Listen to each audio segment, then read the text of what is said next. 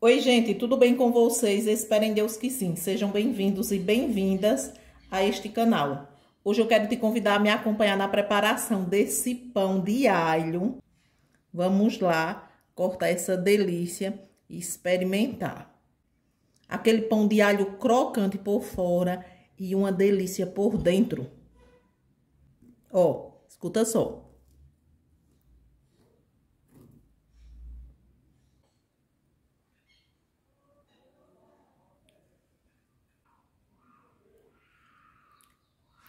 Fica crocante por fora e por dentro fica aquela massa estilo meio que cozida. Uma delícia.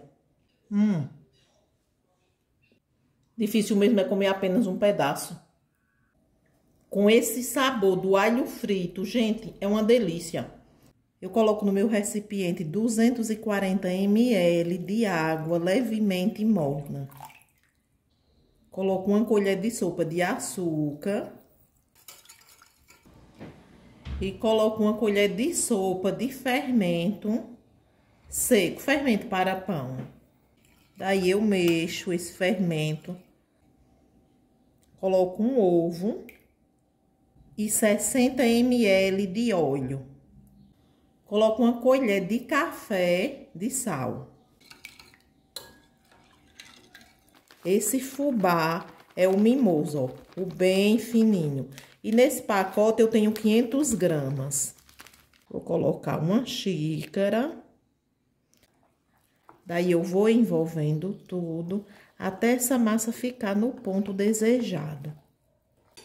Coloco mais uma xícara.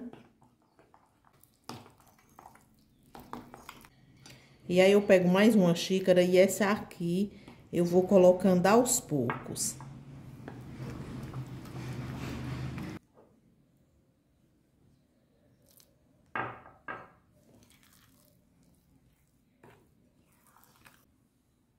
Ó, coloquei o restante.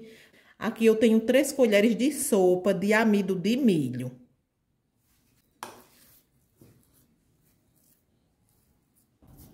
Olha só, envolvi, tudo muito bem envolvido.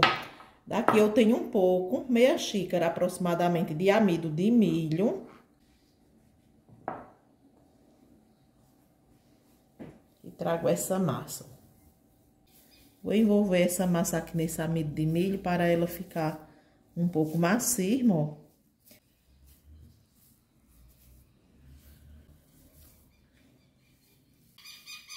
Na verdade, eu usei uma xícara aqui, ó. Coloquei mais um pouco de maisena, ou amido de milho. Até a massa ficar, ó, nessa consistência, ó.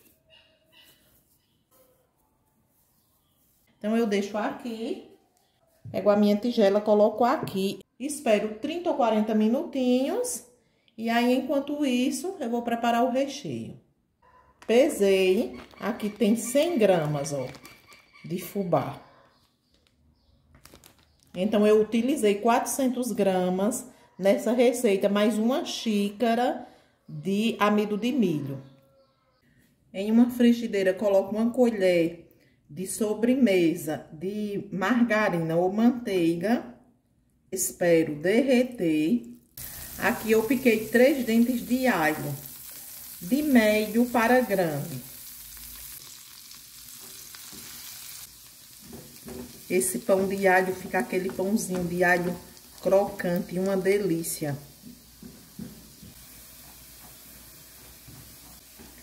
E aí, para mim, já tá no ponto, ó. Deixa ele ficar assim, douradinho. Tem que ter cuidado para não queimar, tá? Olha só como ficou. Em um recipiente, eu coloco esse alho frito, ó. Aqui, vou utilizar um copinho de requeijão. Esse aqui é o requeijão tradicional. E aqui vou colocar 50 gramas de queijo parmesão, queijo ralado. Agora misturo tudo. Esse alho com esse queijo parmesão e esse requeijão. Gente, fica um recheio divino. Olha só.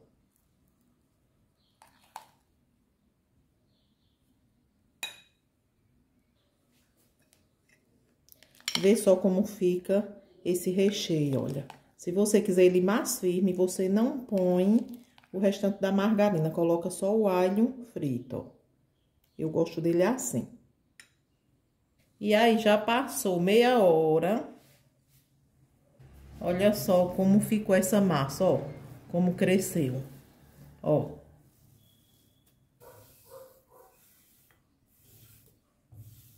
Polvilhar assim um pouco, ó, de fubá, para ficar mais fácil de abrir. Na verdade, era para mim ter passado um pouco assim, nesse tapete, e eu acabei esquecendo. Mas não tem problema, sem problema nenhum.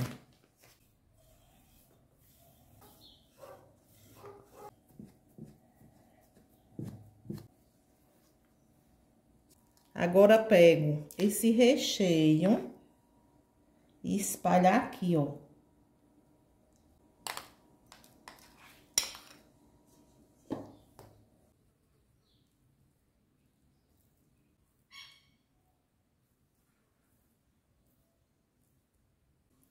E agora, ó, eu vou enrolar essa massa. Porque a gente sabe que a massa de fubá, ela não é como a massa de farinha de trigo. Então, eu vou trazendo aqui, ó, com a ajuda da espátula.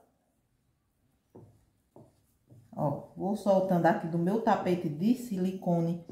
Ó, vou enrolando com a ajuda da espátula.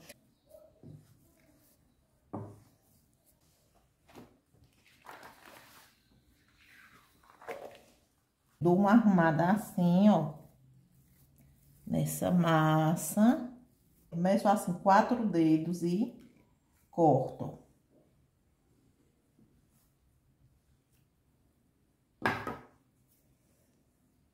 Ó, ó. Feito isso, tem aqui uma forma que passei margarina. E aí, eu vou colocar aqui, ó. Começo mais quatro dedos, corto. Uma dica, vê só. Como essa massa, ela não é como a massa de farinha de trigo, ela fica assim, ó. Não fica aquele pão bonito, digamos assim. Mas aí, quando você cortar esses pedaços, ó, se você quiser, você só é fazer isso. Arrumar aqui na mão, ó. E aí, colocar dentro da forma, ó. Olha só. Como tá frio, aqui eu vou colocar dentro do forno e esperar passar mais 30 minutos e volto com vocês. E aí, olha só, passou 30 minutos. Aqui eu coloquei uma gema e uma colher de sopa de leite. E aí, eu misturo tudo. Pincelo aqui por cima, ó. Já coloquei o forno para pré-aquecer a 180 graus. Olha só. Gente, olha só como ficou esse meu pão de alho de fubá. Vocês não têm noção do cheiro bom que está aqui na minha cozinha. Olha, passou 45 minutos no forno, sendo que 35 eu liguei apenas a resistência inferior do forno e 10 liguei também a resistência superior. Vou passar uma faca aqui nas laterais, ó.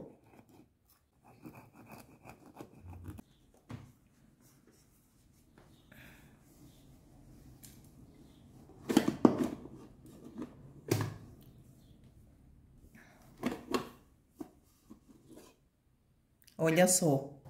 Ficou assim, ó. Mas isso é porque eu tô desenformando ele quente. Se você não quiser desenformar, você faz esse processo ainda na forma. E aqui, ó, eu espalho com ele quente aqui ainda por cima, ó. E aí, o que dizer desse pão de alho? Feito de fubá sem farinha de trigo.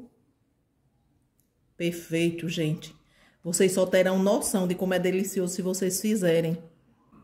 E aí, se você gostar desse conteúdo do dia de hoje, eu te convido a inscrever-se no canal, a deixar o teu like, a fazer o teu comentário, a dar essa força toda especial aí para o crescimento do canal.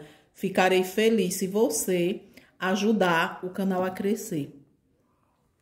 Que Deus vos recompense pela força, pelo apoio que vocês têm dado para o crescimento do canal. Fiquem com Deus e até a próxima. Tchau, tchau.